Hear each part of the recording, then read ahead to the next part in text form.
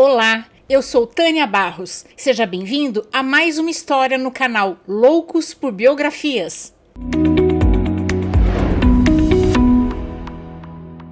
E se você é novo por aqui, convido você a conhecer as histórias que já existem no canal e a se inscrever para conhecer as próximas também. E se gostar dessa biografia, deixe seu like, seu comentário, cinco estrelas no Spotify, porque isso ajuda essa biografia a chegar para mais pessoas e o canal a crescer. Agora vamos lá, senta que lá vem história. Durante os séculos XV a XVIII, a Igreja Católica cometeu uma série de punições contra pessoas que eram suspeitas de bruxaria. Após o Concílio da Basileia em 1431, criou-se um padrão de julgamento contra bruxas satânicas. A partir daí, a Inquisição começou a sua caça às bruxas. Estima-se que nesses quatro séculos, cerca de 50 a 100 mil pessoas foram executadas acusadas de bruxaria. Os casos mais famosos são o de Northbury, na Escócia, o de Tossáquia, na Suécia,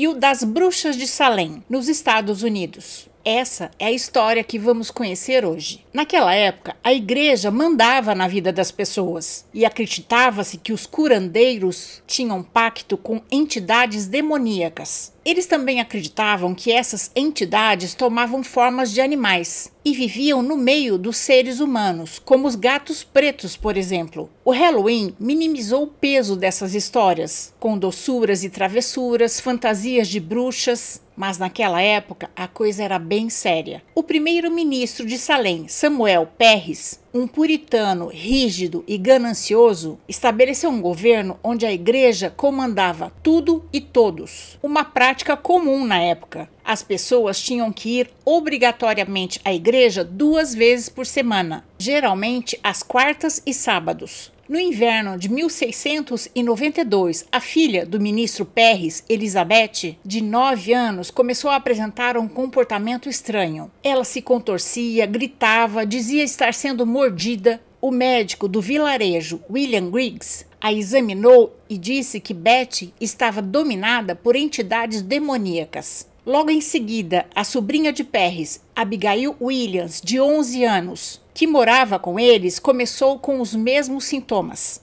Na vizinhança, outra criança, Anne Putman, de 11 anos, e outras quatro meninas apresentaram os mesmos sintomas, e o médico disse que todas estavam endemoniadas. Pressionadas pelos magistrados Jonathan Corvin e John Hathorne, as crianças acabaram acusando três mulheres de bruxaria. A primeira foi a escrava de Perres, Tituba, acusada de praticar uma religião não cristã. Ela cuidava de Beth e de Abigail e contava lendas do folclore africano para as meninas, e elas às vezes ficavam com medo e tinham pesadelos. Para tentar escapar da forca, Tituba, após ser açoitada, confessou que era bruxa e disse que sobrevoava a cidade com várias outras bruxas que estavam espalhadas em Salem. As duas outras mulheres acusadas pelas meninas foram Sarah Gold, uma moradora de rua, e Sarah Osborne, uma viúva idosa e pobre.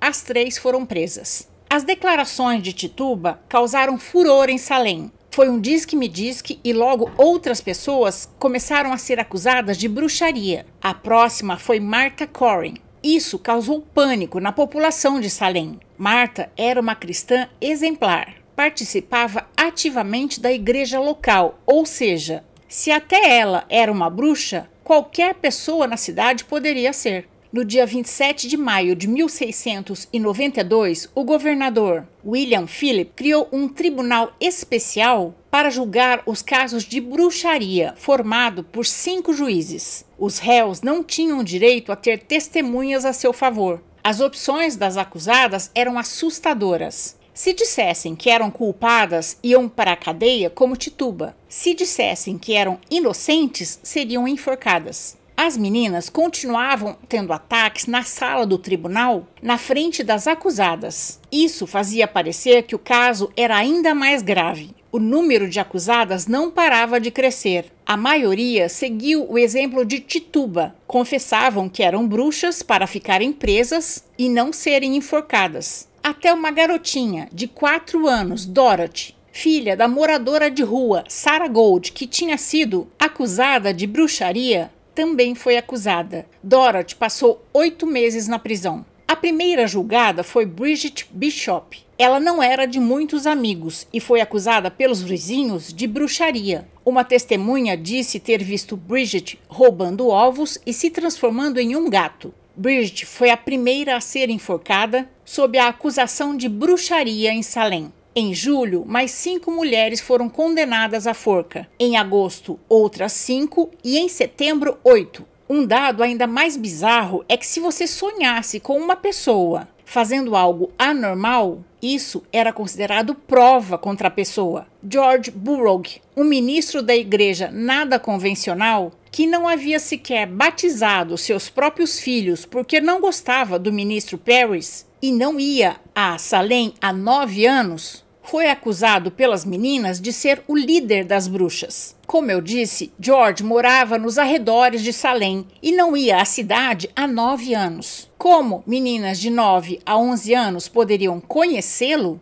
e se lembrar dele? Enfim, George foi enforcado como o líder das bruxas e por enfeitiçar soldados em uma campanha fracassada de Salem contra os índios. Afinal, eles precisavam de um bode expiatório para culpar alguém pela derrota. Os cachorros e gatos das pessoas condenadas também eram mortos. Eles eram acusados de serem cúmplices das bruxas. Um homem de 71 anos, Jail Corrin, foi morto de acordo com um costume medieval bárbaro, que era de comprimir a vítima por rochas pesadas lentamente para que ela confessasse. Mas ele não confessou. A única coisa que Jail disse foi mais peso. Ao final de três dias, seus órgãos e seu corpo foram totalmente esmagados. Quando as pessoas eram condenadas, seus bens eram confiscados pelo Estado. E Jail, sabendo disso, enquanto estava sendo julgado, passou seus bens para o nome dos seus dois genros.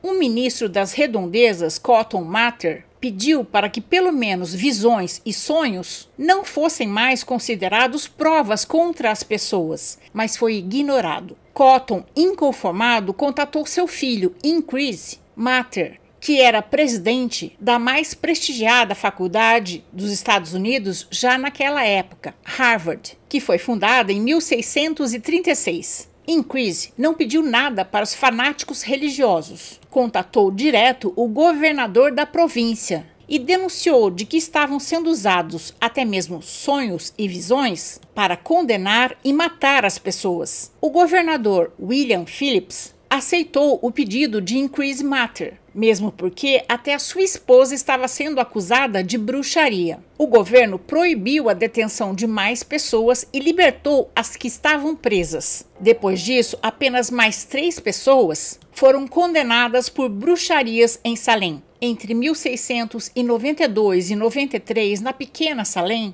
mais de 200 pessoas, em sua maioria mulheres, foram acusadas de praticar bruxaria e de ter um pacto com o diabo. Todas julgadas sem provas apenas por suposições, num sistema de justiça que usava a dor como instrumento para fazer as pessoas confessarem seus crimes. Quatro anos depois, em 1697, o Tribunal Geral de Salem promoveu um dia de jejum em respeito à alma dessas pessoas condenadas. Alguns pesquisadores dizem que provavelmente essas crianças foram contaminadas por um tipo de fungo encontrado no centeio, o principal ingrediente usado para fazer os pães. Esse fungo pode sobreviver a altas temperaturas, como o calor para assar os pães. O contágio por esse fungo pode causar uma doença chamada ergotismo. A doença causa vômitos, contrações musculares e alucinações do tipo causado pelo LSD. Hoje, o caso de Salem é considerado como o maior exemplo de histeria coletiva da história. E essa é a nossa história de hoje. Eu espero ter contribuído para que seu dia seja bom. Se você gostou, dê seu like, cinco estrelas no Spotify, deixe seu comentário. Mas antes de terminarmos, eu quero agradecer aos membros e apoiadores deste canal. E se você também quiser e puder apoiar o canal, Você pode se tornar membro do canal no YouTube ou pelo projeto do canal no Catarse. O link do projeto no Catarse está na descrição da biografia, tanto no YouTube quanto no Spotify. O canal Loucos por Biografias traz novas histórias todos os sábados às 14 horas. Até a próxima história!